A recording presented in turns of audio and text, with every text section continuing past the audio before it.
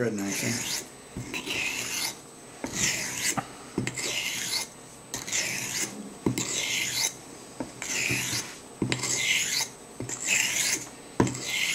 in. Now sometimes you'll find that you'll get like two-thirds of the edge developing on it and you have to change your angles a little bit. Sometimes you wind up doing more like this to make sure you get the toe. Normally I'm just like this. Slate.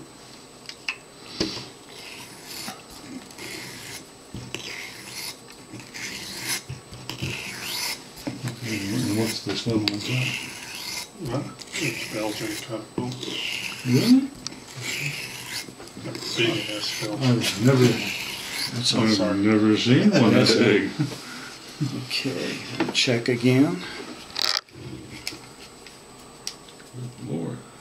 That's a small I fortune don't, I don't, stone, I don't right? waste any, any slurry, I just leave it on there.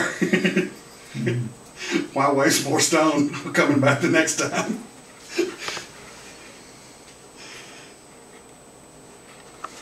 Okay, I got a little bit of jagged in the middle here.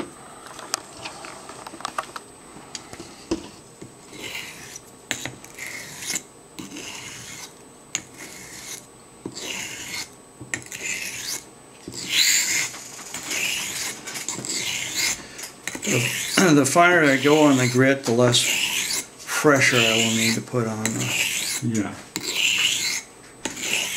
And the thing about taping, when you come to strop, normal stropping, it doesn't make any difference. You can strop normally and you still get the same good effect.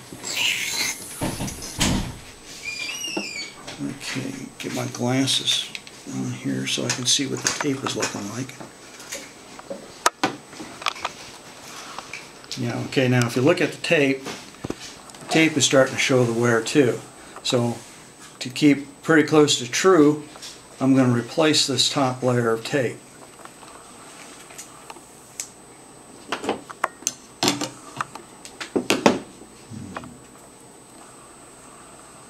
I go through a lot of tape on these Yeah. things. Dollar store too. Yeah, well, I guess especially if you go to the two twenty, that's really gonna eat the tape up. Yeah, that, that's, that's grinding, that really. Oh, it is a great. Yeah, you pulled three off. I pulled three off, okay. Yeah. Trim that.